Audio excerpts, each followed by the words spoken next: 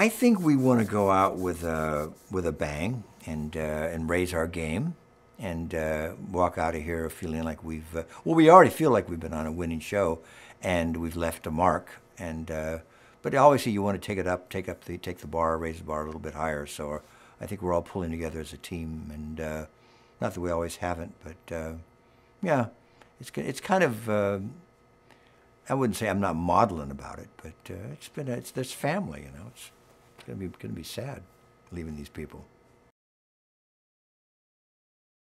He's still um, clueless.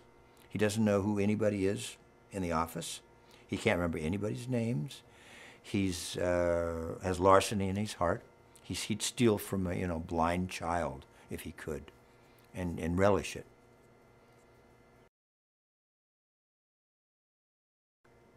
Pete and and Clark are, are basically in uh, in the opening uh, episode are our new Dwight and Jim.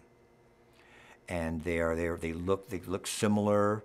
In fact, we're going to have some stuff where they uh, they, they play off of each other in that in that capacity.